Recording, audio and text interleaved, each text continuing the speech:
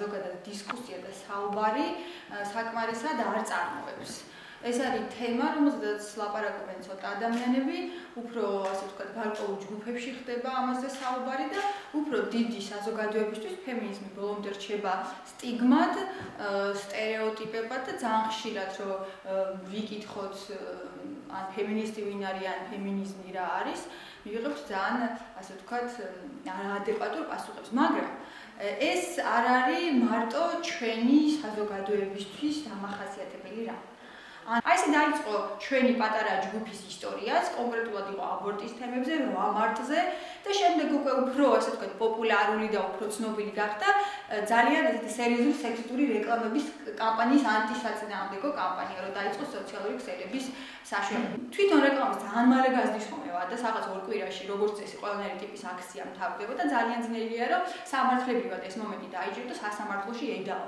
მაგრამ ესეთი ტიპის გამოხმაურებას ანუ სოციალურ აქტივობას ქონდა გამოხმაურება თქვენს რომ ჩვენ ამას არ გულისხმობთ თქვენ თუ ესე გაიგეთ ნუ რა თქმა უნდა მაინც სამწუხაროდ ესე შეფუთეს ნუ მაშინ ბოდიშს ვიხდითო მაგრამ ჩვენი მიზანი არ იყო არავის შეურაცხყოფა ამას წინათ იყო ძალიან ეხა სახელი არ მახსოვს მაგრამ მე მგონი ყოველს გეცოდინებათ უკრაინაში რო იყო შემთხვევა.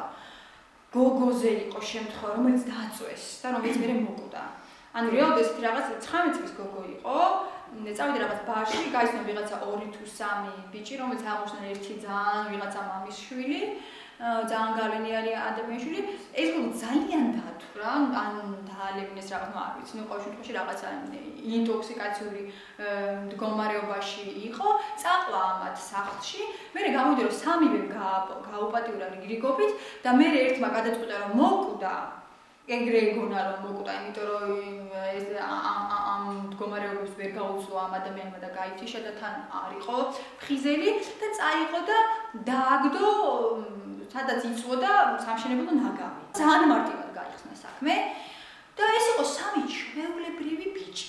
ანუ არ გეგროთ ეს ხო ვიღაცა მხეცი, მანიაკი, ვიღაცა რაღაც აოცარი წარსულის მქონე კრიმინალი და არა ეს ხო ჩვეულებრივი სამი ახალგაზრდა კაცი რა ვერც ალბათ ყოფს ვერ დაართმევ ესეთ ადამიანს, ვერც ფსიქიურად გაუწონასწორებულ გაუწონასწორებულ და შეშლილს ვერ დაართმევ და ერთ ჩვეულებრივი ადამიანები, რომელიც ისეთ საზოგადოებაში გაიზარდნენ, რომ ეს ცნობიერება ჩამოყალიბებული, რომ ქალი არის მოხმარების ნივთი.